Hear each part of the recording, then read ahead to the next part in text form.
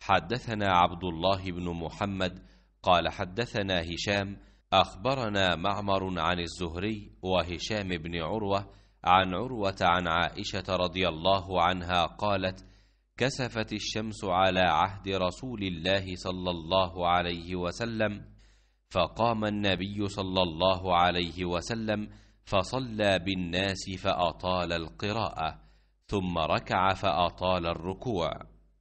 ثم رفع رأسه فأطال القراءة وهي دون قراءته الأولى ثم ركع فأطال الركوع دون ركوعه الأول ثم رفع رأسه فسجد سجدتين ثم قام فصنع في الركعة الثانية مثل ذلك ثم قام فقال إن الشمس والقمر لا يخسفان لموت أحد ولا لحياته. ولكنهما آيتان من آيات الله يريهما عباده فإذا رأيتم ذلك فافزعوا إلى الصلاة.